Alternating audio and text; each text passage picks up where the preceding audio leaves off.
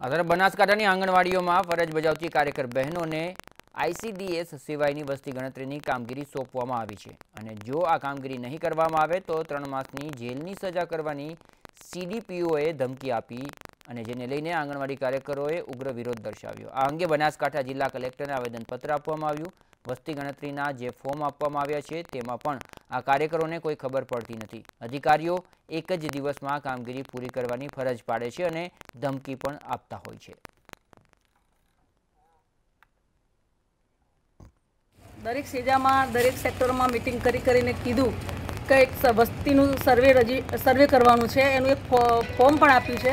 અને ફોર્મ આપ્યા પછી તરત ને તરત હમણાં જ ફોન આવ્યો પાછો કે તમે સર્વેના આંકડા આપી દો.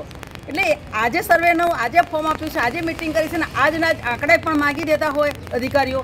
તો આ કેટલું વ્યાજબી છે? બીજું કે સર્વે કરવામાં અમે હાઈકોર્ટના આદેશના અનુસાર આંગણવાડીની વર્કર આઈસીડીએસ સિવાયની કોઈ કામગીરી ના કરે. આઈસીડીએસ સિવાયની, કારણ કે આઈસીડીએસમાં બાળકને શિક્ષણ અને પોષણ મળી રહે એ વધારે મહત્ત્વનું છે. પાયાનું શિક્ષણ આપવું એ વધારે મહત્ત્વનું છે.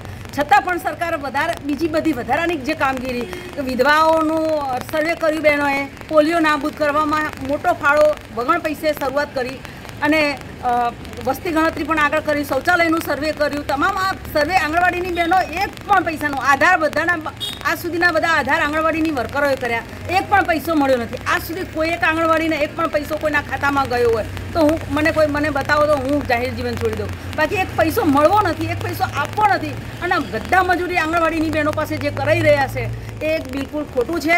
અને ઉપરથી અધિકારીઓ એવી પણ ધમકી આપતા હોય છે કે તમે આ નહીં કરો તો છૂટા કરી દેવામાં આવશે, આ નહીં કરો તો તમને જેલ થશે. આમ થશે, તેમ થશે. તો આ તો ધમકીઓ તો ખોટી ધમકીઓ આપી અને બહેનોને આ રીતે જે હેરાન પરેશાન કરી રહ્યા છે, એ બહેનોનું શોષણ કરી